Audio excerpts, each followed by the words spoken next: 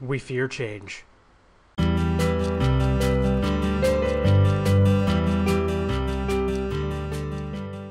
That's right, change is inevitable. I'm sorry, people. It's inevitable. It's a part of the world we live in. You got to be adaptive. And in the vlogging world, people have very low attention spans. I have very low attention span.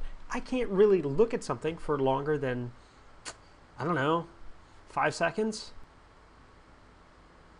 Yeah, that's probably about right. Five seconds. That's what I would, I would probably say is pretty close to accurate. So I'm changing up the format here. Uh, we're talking about IT life, where I give you guys valuable insights into uh, the real world of IT. Um, but uh, today was a lot of busy work. I was looking on uh, eBay to do price research.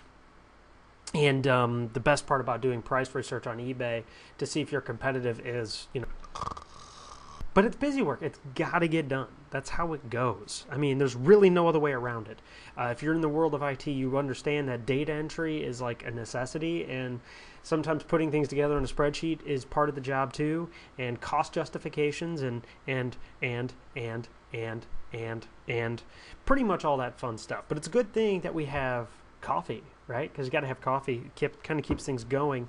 And um, one thing I did learn though about this whole part is that with eBay, there's no good bulk lister, like bulk lister. You know that you get to list things in bulk or revise listings in bulk. They have Blackthorne, but it's not friendly at all. In fact, according to the nice little uh, timestamp on it, it only is like from hasn't been updated for years. So that's been kind of a blast. But that's pretty much all that's going on with me this week, other than the format change, which we fear change. This has been another episode of IT Life. Until next time, don't be mastered by the machine.